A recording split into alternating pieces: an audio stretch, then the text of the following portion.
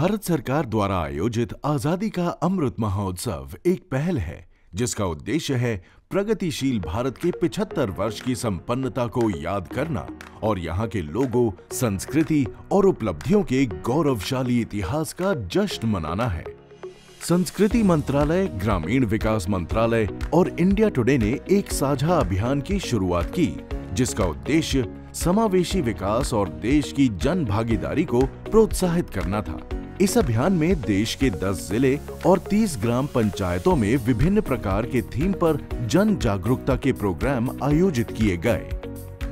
ये अभियान उत्तर प्रदेश के गौतम बुद्ध नगर से शुरू होकर लखनऊ, जबलपुर, नागपुर, जम्मू, बेंगलोर, जयपुर, गुरुग्राम उड़ीसा और दिल्ली जैसे इलाकों के अंतर्गत आने वाली ग्राम पंचायतों में पहुँचा, जहाँ विशेषज्ञों ने वित्तीय साक्षरता, डिजिटल लेन देन समग्र आवास, पशुपालन एवं पौधारोपण जैसी थीम पर लोगों को जागरूक किया।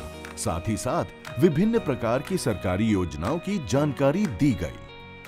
पशुपालन जागरूकता अभियान के अंतर्गत विभिन्न कार्यक्रमों में पशु चिकित्सा कैंप लगाए और दवा वितरण भी किया गया।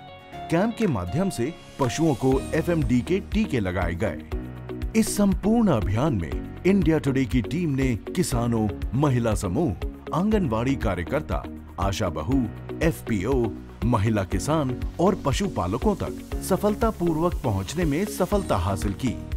इंडिया टुडे ने इस अभियान में तिहत्तर दिनों में इक्कीस हज़ार किलोमीटर का सफ़र किया और 10 ज़िले 30 ग्राम पंचायत और बारह हज़ार की आबादी से सीधे संवाद करने में सफल हुए और सोशल मीडिया के माध्यम से इस मुहिम को 60 लाख से भी अधिक लोगों तक पहुँचाया। आज हमारी गौशाला में प्रोग्राम जो है सबसे अच्छा तो अच्छा लगा है इस कार्यक्रम से इतनी बड़ी और अच्छी सीख मिली है कि जो कि गाँव गाँव हर जगह जाके इन्होंने जो डोर टू डोर कैंपेन जो किए हैं गाँव में जाके जो है उन्होंने अच्छी अच्छी तरह से समझाने की कोशिश की है।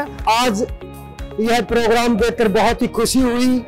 संस्कृति मंत्रालय और इंडिया टुडे द्वारा यह कार्य संपन्न हुआ। इस जन जागरूकता अभियान में संस्कृति मंत्रालय ने इंडिया टुडे के माध्यम से जो संदेश जन जन तक पहुँचाया है उसके परिणाम सार्थक और दूरगामी होंगे।